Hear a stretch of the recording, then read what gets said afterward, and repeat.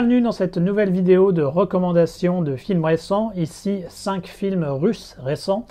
Euh, j'avais déjà mentionné le fait dans une précédente vidéo que euh, si dans l'ensemble la chaîne va essentiellement se consacrer sur des films euh, japonais, chinois, hongkongais, coréens, de temps en temps je me permettrai d'explorer les cinématographies d'autres pays de l'Asie et étant donné que la Russie a une partie asiatique, c'est un, pays qui appartient à l'Asie, eh bien, euh, je me permettrai de temps en temps de parler de cinéma russe.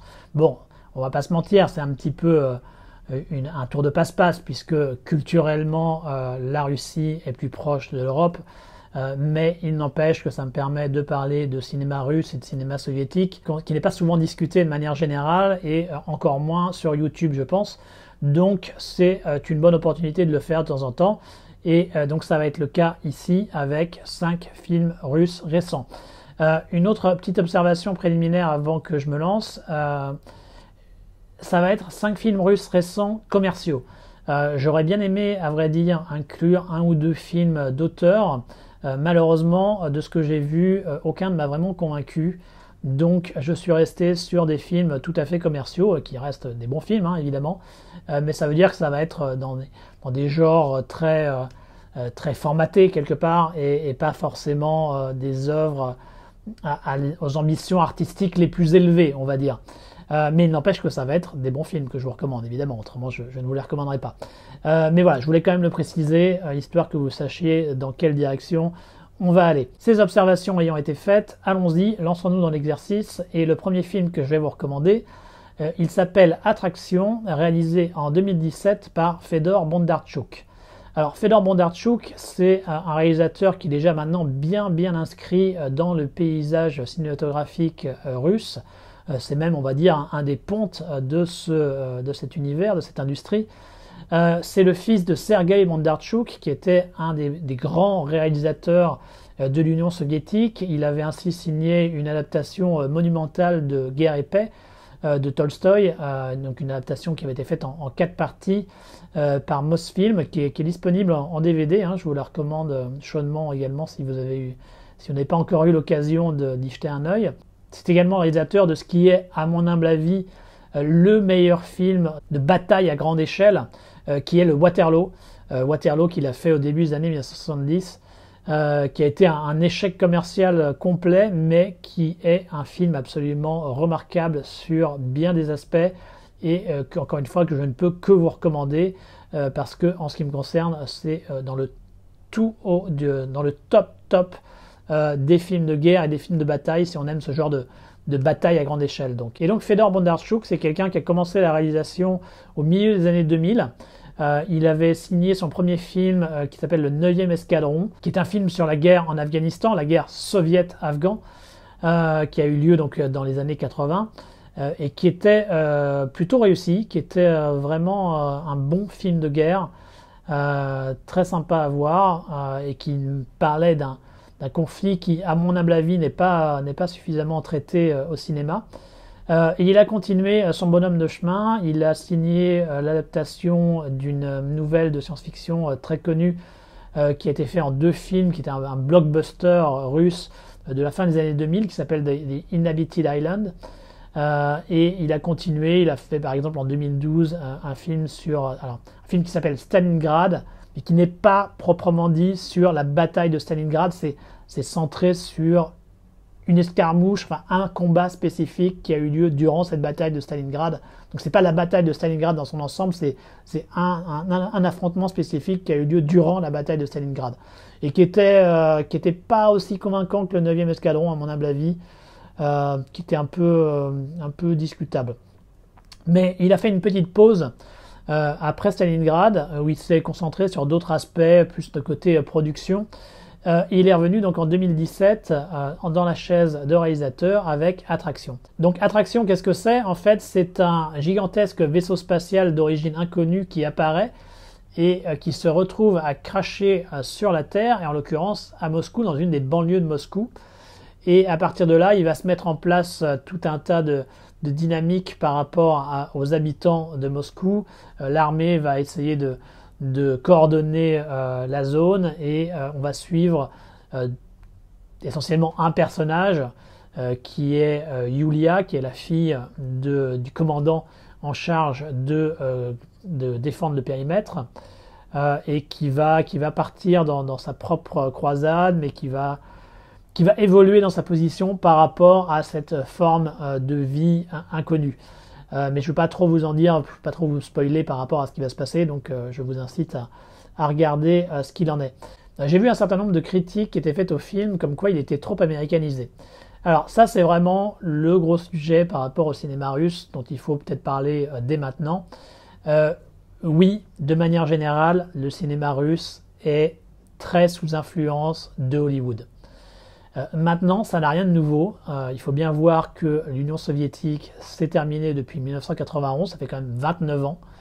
Euh, qu'à partir du moment où l'Union soviétique est tombée, évidemment, le cinéma russe s'est retrouvé en compétition directe avec le cinéma américain, et qu'on le veuille ou non, le cinéma américain, c'est la force culturelle dominante. Ils ont un, un pognon incroyable, évidemment. donc ils sont capables d'imposer leurs standards à toutes les industries à travers le monde.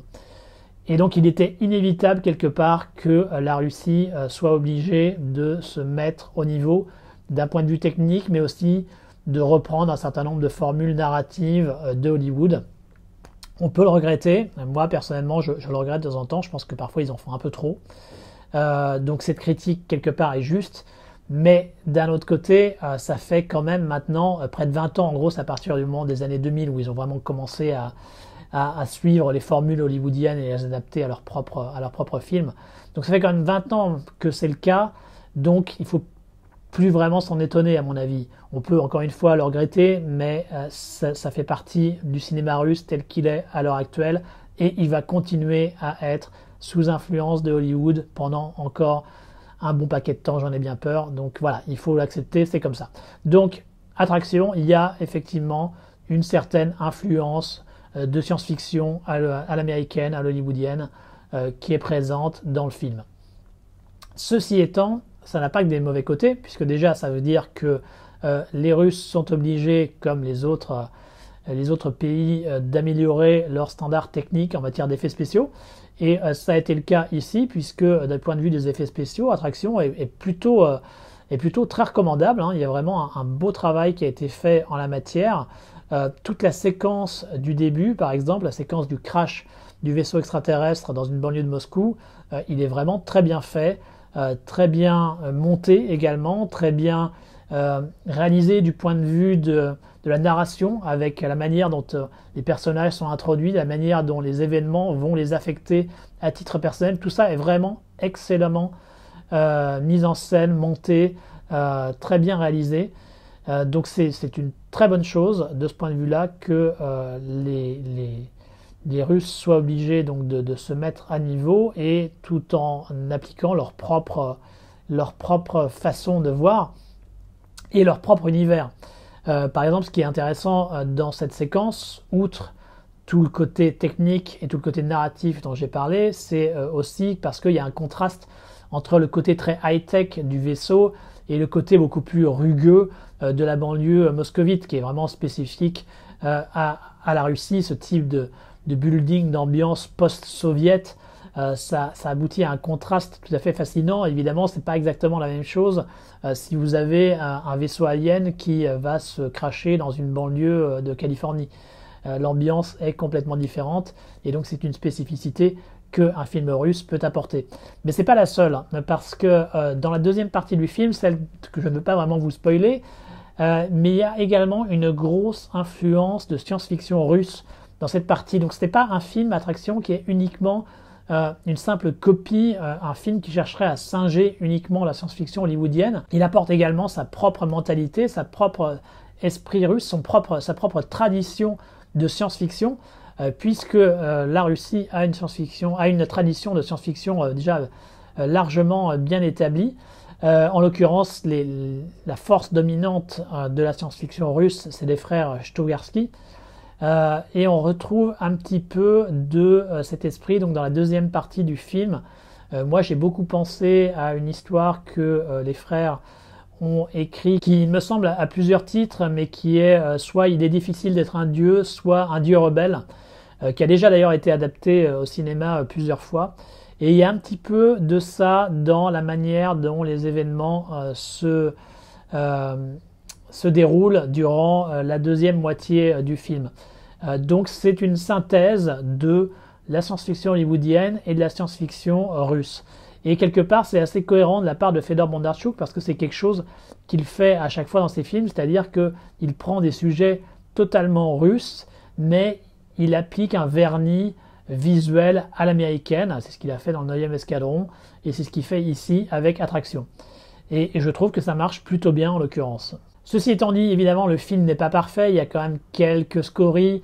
Euh, au niveau du scénario, c'est vrai que les, personnages parfois évoluent de manière un petit peu rapide, euh, tout particulièrement Yulia, euh, qui est très remontée contre, contre les extraterrestres durant toute une partie du film, et puis qui va, complètement changer. Alors il y a, des raisons pour ça, mais c'est vrai que parfois on, passe d'un extrême à l'autre de manière un petit peu rapide à mon goût. Il y, a quelques éléments comme ça, quelques petites facilités scénaristiques mais on va dire que ça reste tout à fait acceptable parce que les personnages restent suffisamment attachants. Euh, c'est dû entre autres au fait qu'il y, a un bon casting, les acteurs sont tout à fait convaincants. Euh, moi, j'ai tout particulièrement apprécié le fait de revoir euh, Oleg, Menchikov. Oleg Menchikov, c'est un, vieux de la vieille hein, maintenant, c'est un acteur qui est dans le paysage cinématographique russe depuis plus de 20 ans. et donc, qui là joue le, père de Yulia, donc l'héroïne, celui qui est en charge du cordon autour du, vaisseau spatial écrasé euh, dans la banlieue de Moscou, euh, et qui est toujours, euh, toujours très bien, toujours très convaincant, ça fait toujours plaisir de le voir. il apporte un, véritable plus au film, à mon humble avis. donc c'est très cool à ce niveau. Le film Attraction a eu une suite en 2020 appelée Invasion, qui malheureusement est beaucoup moins recommandable, je pense, que le premier film. Euh, ça tient au fait qu'il euh, y a un certain nombre d'événements qui ont lieu à la fin du premier film et qui sont un peu euh, abandonnés dans le deuxième film. En gros, il, revient, il fait un espèce de, de simili reboot quelque part. Et je trouve que ce n'est pas, une bonne idée. Ça n'apporte pas grand chose. et en fait, le film va être quasiment tout le long une espèce de, gigantesque course-poursuite entre les deux héros et une espèce d'entité extraterrestre qui veut les, les éliminer. Euh, du, point de vue scénaristique, je trouve que c'est un peu vide, ça tourne un peu à vide, ça, ne mène pas à grand chose. Ceci étant, vous avez quand même quelques jolies séquences, vous avez des belles séquences de course-poursuite à Moscou proprement dit, Moscou qui est une ville quand même extrêmement cinégénique, donc elle s'y prête très bien à ce type d'exercice. Et il y a également toute une séquence de fin, un petit peu, euh, un petit peu fin du monde, on va dire, un petit peu euh, plaie d'Égypte, euh, mais version encore plus, encore plus spectaculaire, qui est sympa d'un point de vue technique. d'un point de vue technique, c'est bien fait, c'est assez impressionnant. Mais bon, ça, ça tourne quand même un petit peu à vide à mon goût, donc je vous recommanderais pas forcément le deuxième épisode. Si vous avez adoré le premier, vous pouvez quand même évidemment jeter un œil au deuxième. Euh, mais celui qu'il faut privilégier, clairement, c'est le premier, c'est Attraction, donc réalisé par Fedor Bondarchuk. La deuxième recommandation, elle date également de 2017 et elle est réalisée par Klim Shipenko et il s'agit de Salyut 7. Euh, Salyut 7, c'est un film qui euh, se base sur des faits réels. Salyut 7, c'est le nom d'une station spatiale qui a été mise en orbite par l'Union soviétique dans les années 80. C'est en quelque sorte l'ancêtre de la station Mir. Et euh, cette station a eu un, problème technique à un moment donné, euh, avec une perte de, batterie, une perte de, puissance en fait, euh, qui fait que les, autorités ont dû dépêcher une mission spéciale afin de, réparer la station. Et c'est cette histoire qui est contée dans Salyut 7. Donc c'est un film sur l'exploration spatiale soviétique et traité de manière plutôt réaliste. Euh, moi déjà, je tiens à dire que je trouve ça très bien qu'il y ait des films qui soient faits sur euh, le programme spatial soviétique, parce que l'impact euh, de l'Union soviétique sur la conquête spatiale est quand même énorme. c'est eux qui ont mis le premier satellite sur orbite avec Sputnik, c'est eux qui ont envoyé le premier homme autour de, dans l'espace avec Gagarine, c'est eux qui ont permis la première sortie dans l'espace par un être humain avec c'était Leonov, je crois. et donc ils ont quand même participé grandement à cette conquête spatiale. Alors ils ont perdu la course à la Lune, hein, c'est les, États-Unis qui ont gagné, clairement, et c'est une grande, grande réussite à mettre au crédit des États-Unis.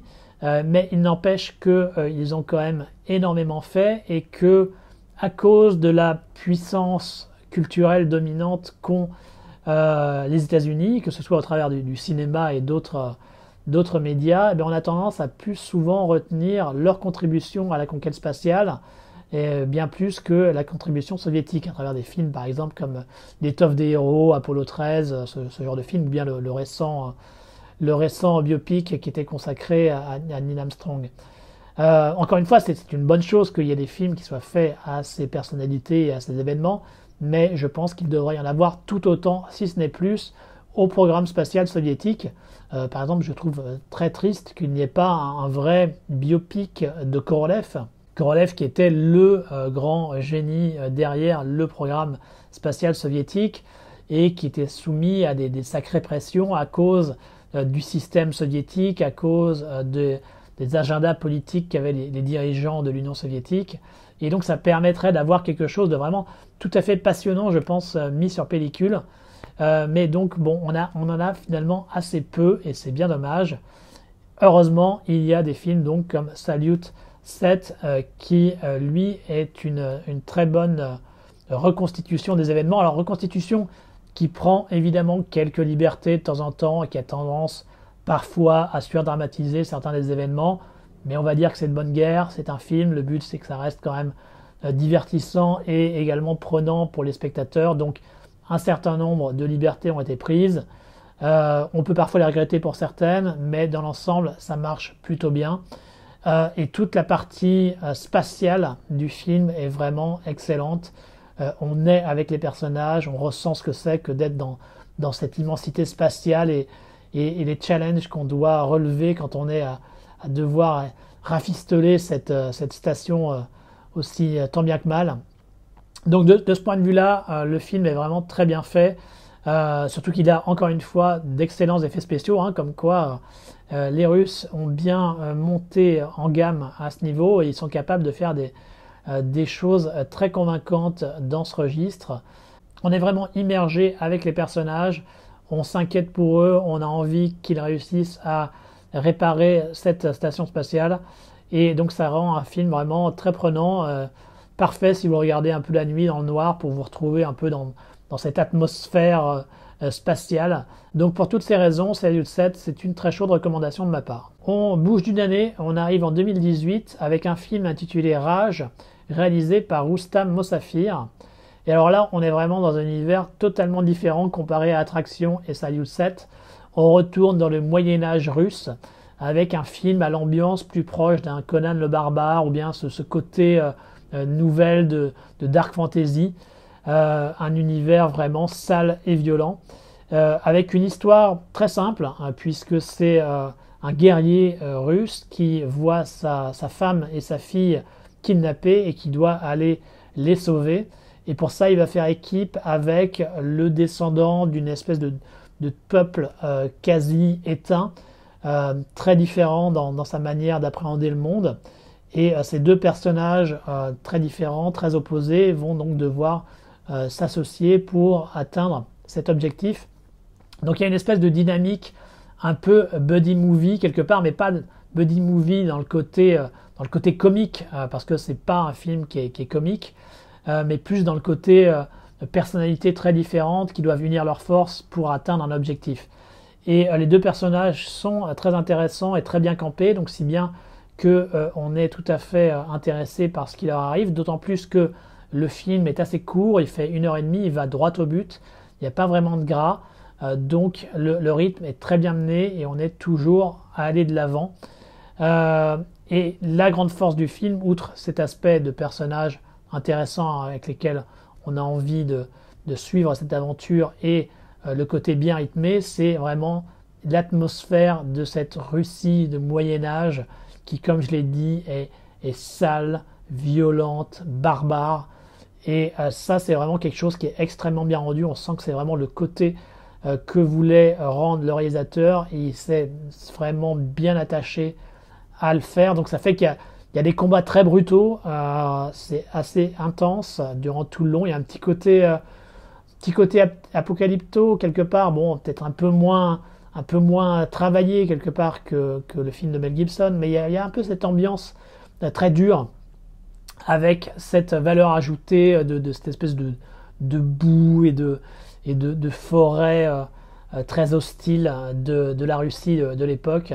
Donc Rage, un film qui va droit au but, qui va à l'essentiel et qui le fait bien avec une ambiance euh, très, barbaresque.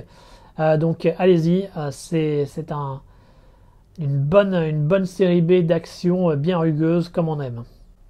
Le quatrième film russe que je vais vous recommander, il a été fait l'année encore après, donc en 2019. il s'agit de T34 par Alexei Sidorov. Euh, T34, je pense que euh, rien qu'avec le nom, vous avez compris que c'est euh, lié. c'est un film de char, un film de char d'assaut, puisque le T34 c'était le nom du char d'assaut le plus emblématique de l'Union soviétique pendant la Seconde Guerre mondiale. Hein. c'est en gros le, char qui leur a permis de remporter la guerre. Et donc dans T-34, on va suivre les aventures d'un équipage d'un char T-34 par rapport au combat contre des unités allemandes. Donc il va, se passer d'autres événements dans le film, mais en gros, T-34, c'est un film sur des affrontements entre le char iconique soviétique et euh, ses alter ego allemands. Alors comme je disais euh, précédemment, euh, l'influence hollywoodienne peut être parfois assez désagréable, et dans T-34, il faut bien reconnaître qu'il y a certains moments où cette influence hollywoodienne est un peu trop présente à mon goût.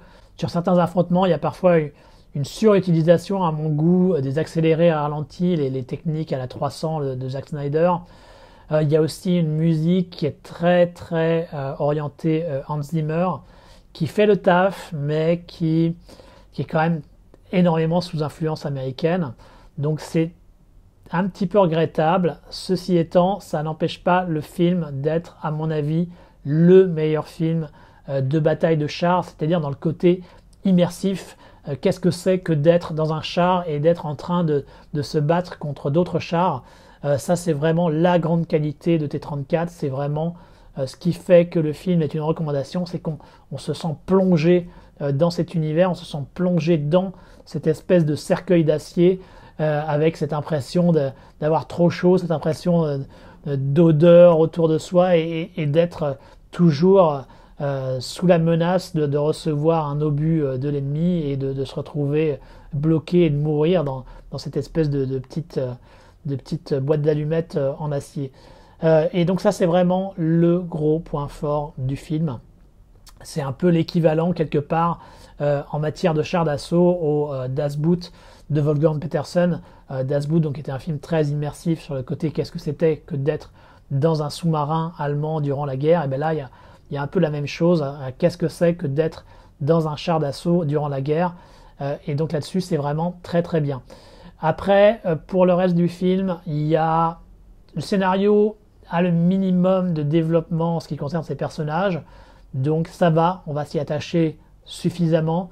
Maintenant, on aurait pu espérer probablement avoir davantage à ce niveau, d'avoir quelque chose de, plus, de plus travaillé, donc le minimum est fait, mais c'est vrai qu'il y aura peut-être pu avoir quelque chose d'un peu, euh, d'un peu plus réussi là-dessus. De même, il y a parfois quelques, quelques facilités dans le scénario, on n'y échappe pas.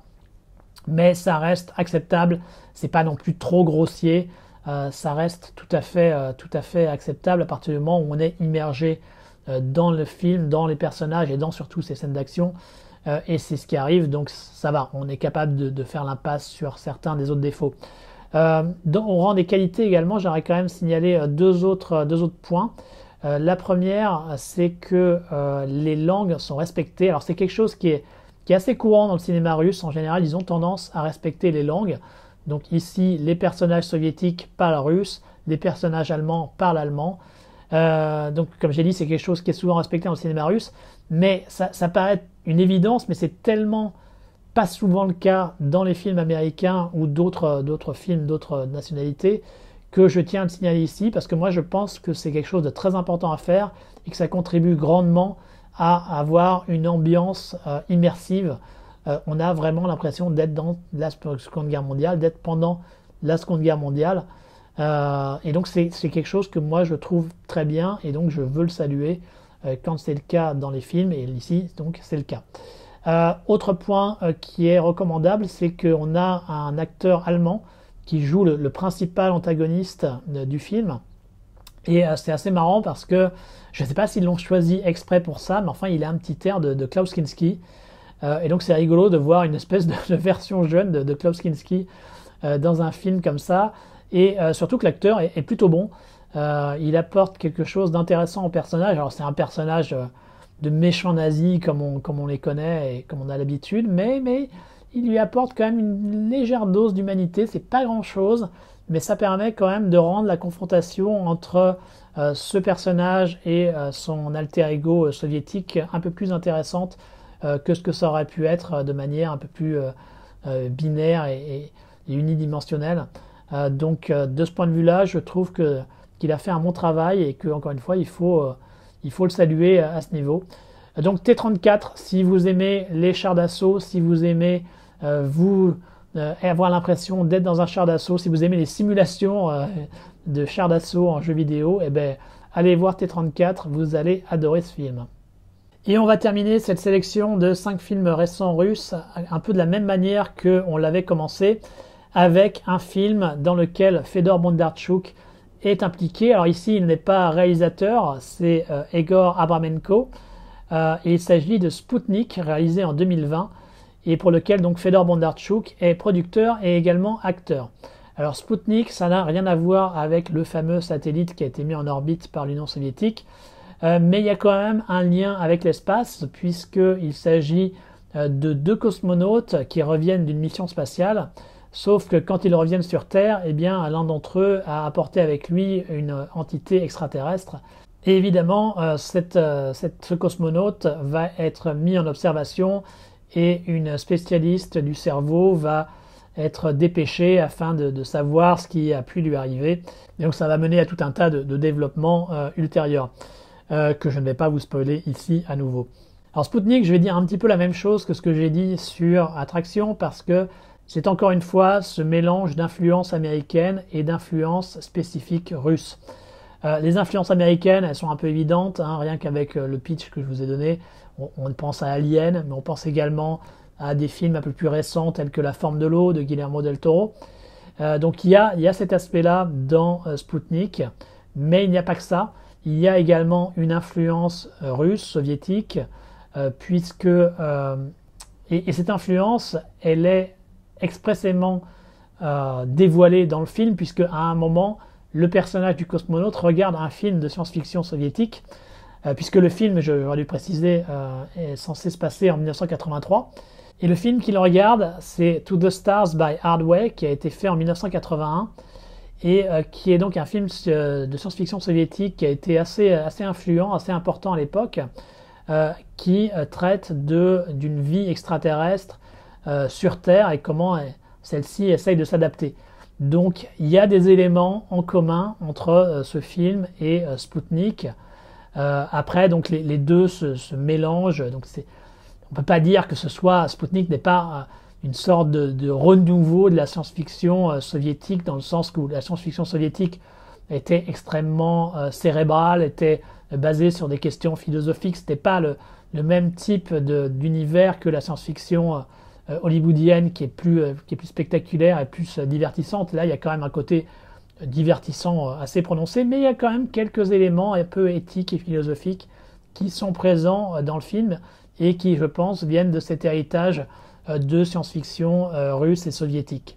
Et donc ça donne quelque chose d'assez intéressant, d'autant plus que le personnage de la, de la spécialiste du cerveau est vraiment bien campé et vraiment attachant quelque part parce que c'est un personnage féminin très très fort, euh, très courageux, euh, et donc ça, change, ça fait plaisir, enfin ça change, ça change pas tant que ça, c'est un personnage assez classique de, la science-fiction, euh, mais, mais il, a, il a un côté spécifiquement russe, encore une fois, qui le rend, qui le distingue, qui le rend intéressant par rapport aux autres, et qui fait qu'aussi qu'on s'attache à elle.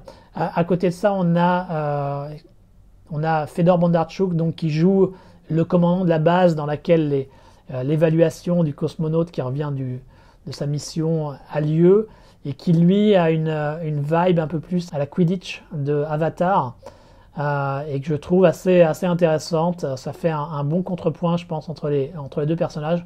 Il n'y a, pas beaucoup de personnages dans le film, hein, juste quatre, euh, mais ils sont dans l'ensemble suffisamment bien campés. Il y en a un qui est un petit peu moins, un petit peu moins réussi que les autres, qui est un peu plus caricatural, on va dire, mais, mais ça passe. Et un peu comme pour les autres films dont j'ai parlé, la grande réussite de Spoutnik, à nouveau, euh, c'est de réussir à créer une atmosphère pesante dans laquelle on a toujours une certaine tension euh, qui est là et qui fait qu'on ne sait jamais exactement comment les événements vont se dérouler. On a toujours une crainte pour les personnages grâce à cette ambiance un peu euh, Union soviétique des années 80, alors qui a pris quelques libertés hein, quand même sur la manière dont, dont c'est présenté, mais, il y a quand même ça qui est présent dans le film et qui fait que c'est intéressant avec des développements plutôt prenants et quand il y a besoin d'avoir des scènes d'effets spéciaux, ben, des effets spéciaux et un design d'extraterrestre qui est qui est assez réussi.